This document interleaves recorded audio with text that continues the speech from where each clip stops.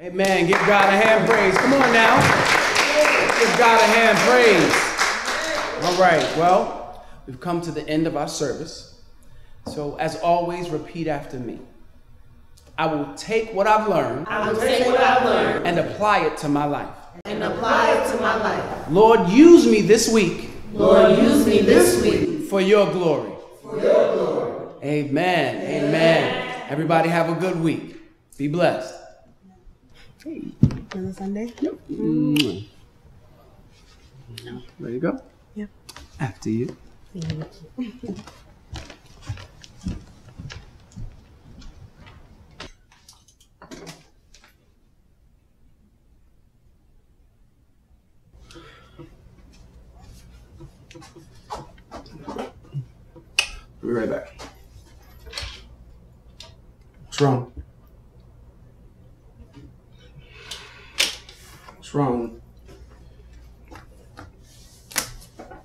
Babe, it's been two years. We've never had more than 10 people in one church service. We average five. The other day we had two. Babe, you know I'm trying to promote the church. I know. Oh, well, you know, then I can't afford advertising. And social media is just not working out for me. Okay, well, we can't keep paying the church's bills and our bills. We ran out of our savings trying to keep the church afloat. Something has to give. Babe, just don't worry about this. Please It'll be down. fine. I don't want to sit down. Just don't worry about I'm pregnant. What? The doctor said we can't have kids. now, you playing right now? Because now it's not. You serious? Oh my god, this is. Oh, this is too much. This is too much. This is too- This is too much. How could you say that? How could you say that?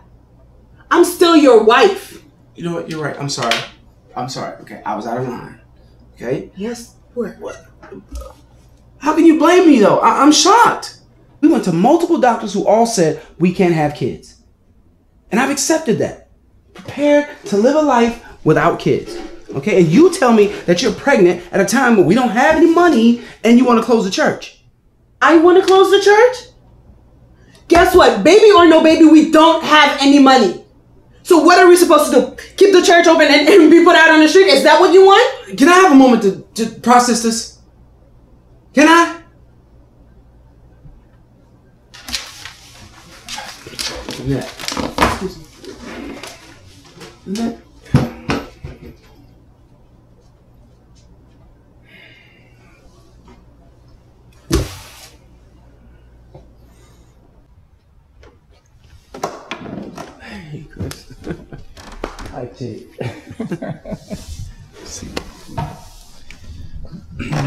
Thanks for meeting me.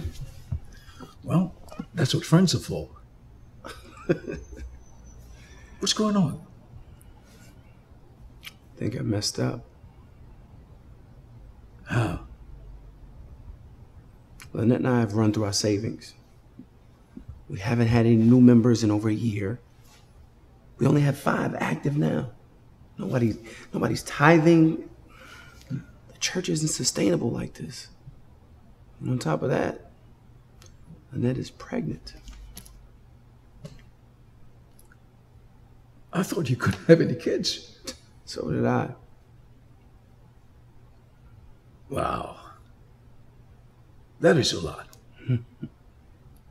I don't want to sound cliche or anything, but you have got to trust God through this. I know that, Chris. It's hard. How am I going to take care of a kid with no money? And if I close the church, I owe thousands of dollars for breaking my lease. What does Lynette want you to do? She wants me to close the church. What does God want you to do? I don't know. That's just it. It's like I can't hear from him on this. Makes me wonder if I was really called to pastor. Well, you're supposed to protect and provide for your wife and kid. Before the church, if any man does not take care of his own, especially those of his household, he has denied the faith and he's worse than an unbeliever. First Timothy 5 and 8. Thank you, Pastor. Can we pray? Sure. Eternal Father, we approach your throne in the name of Jesus Christ, your Son, presenting to you Pastor T, Lynette, and that gift that you have granted to them, asking you for your wisdom, knowledge, and direction, and yes, a revelation of your will. Now on to the King Eternal, immortal, invisible, the only wise God, the honor and glory forever and ever. Amen. Hey, Mr. Smith, it's Pastor T. Can you give me a call when you get a chance? Thank you.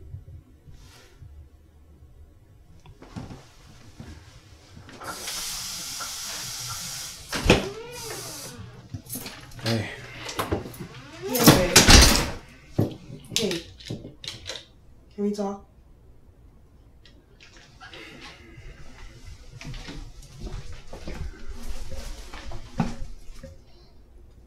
I'm sorry about the other day.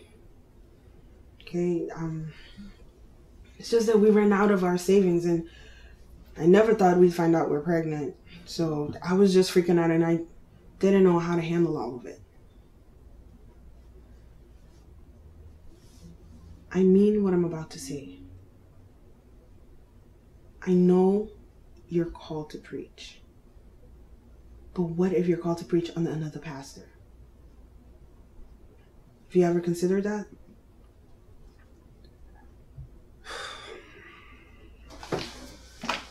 Terrence.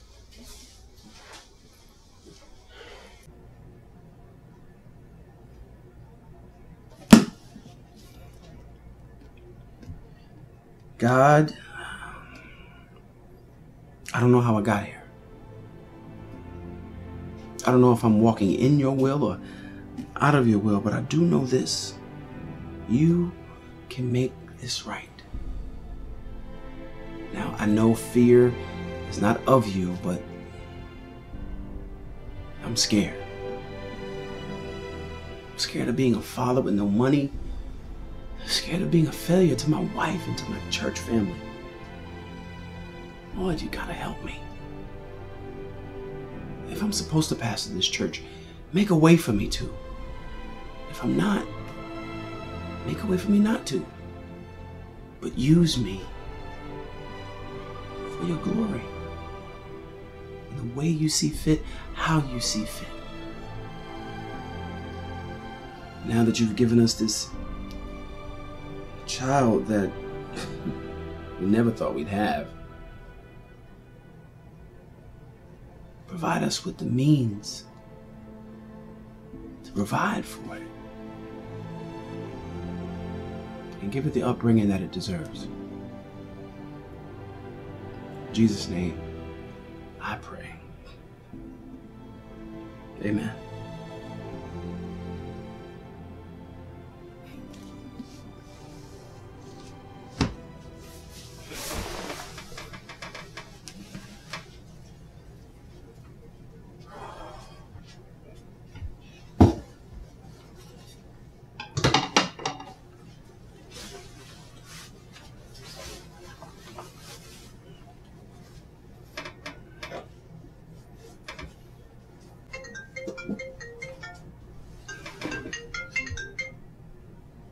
Hey, Mr. Smith. Thanks for calling me back. Yeah, listen, um, I have some personal issues that came up, and I was wondering if I could possibly break the lease on the church. Well, it's funny you should uh, ask that because I just had a pastor call me asking me if he could rent the church. I know things have been kind of slow for you there, so I told him I would get back to him. Then you left me a message asking me to call you. So, what would happen if, If you break the lease, Well, normally you would owe me big time. But like I told you, when I met you, I like you and your wife. I think you're a good man, and things just didn't work out the way you planned this time. So I'm going to let you out of your lease with no penalty. Oh, praise God, Mr. Smith. Thank you. Thank you so much. Everything is in order. We left the church in good condition, great condition. I know. And and we'll be out by the first if that's okay with you. That's fine. And just because you've had this setback, don't give up on God. Remember, he who has begun a good work in you will complete it until the day of Jesus Christ. Philippians 1 and 6. Thank you, Mr. Smith.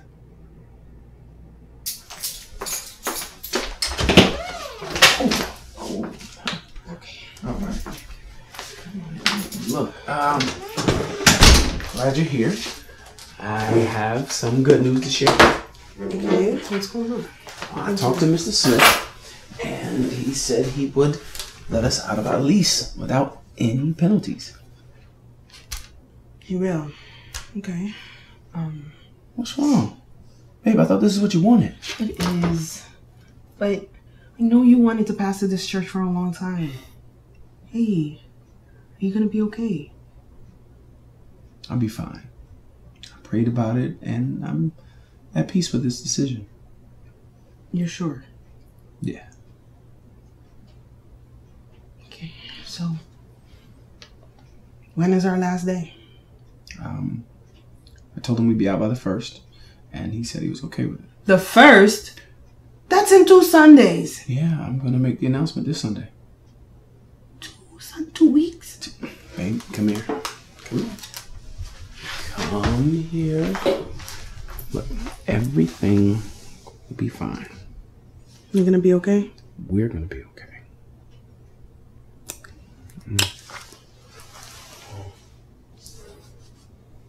Today's message is don't try to figure everything out. Somebody say, don't try, to figure everything out. Amen. Being a Christian is about having faith.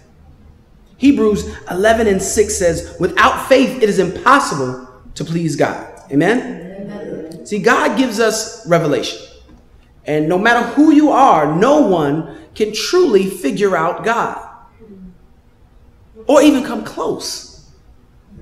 If you could, then you would be God. Amen. Uh, Ephesians 4 and 5 says that there's only one Lord, one faith, one baptism. Eventually, you will hear a message or, or experience a situation that will touch your heart and make you realize that God is real. And you will decide to give your life to Him. And that, church, is the best decision that you can make in life. Amen. Amen. Church, as I said, we have other business to attend to. I have an announcement to make. After much prayer and support from your First Lady, we've decided to close the church.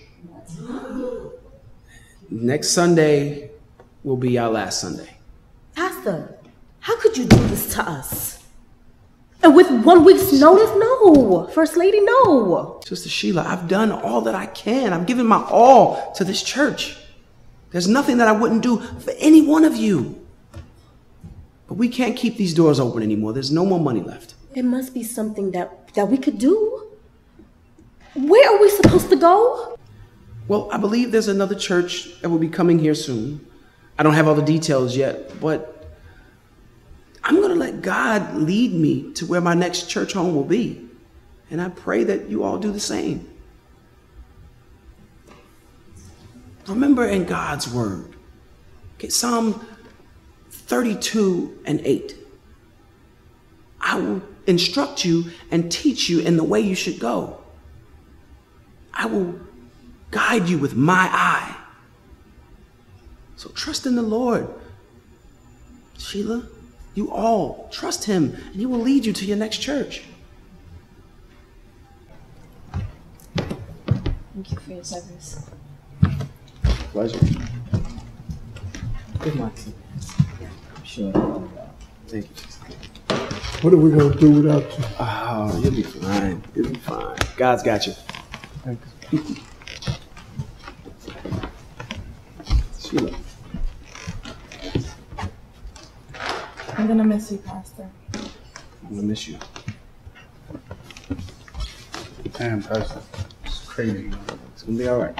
Man can really catch the games. You don't even have to come through here. It's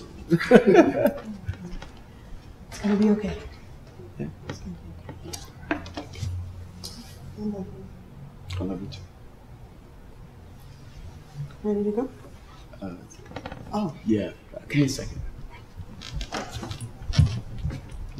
you doing? How you doing? Sorry things didn't work out with the church. Uh, thank you. First time here, you? I've seen you before. Yes. yes. Uh, what's your name? Oh, Pastor James. Oh, very nice. Nice to meet you, man. Nice to meet you, Pastor James. That was a powerful message you preached today. Well, I'm actually the pastor that's buying this church from Mrs. Smith, and I wanted to attend the church service here before I actually bought the place. Oh, okay, okay. I've heard great things about you.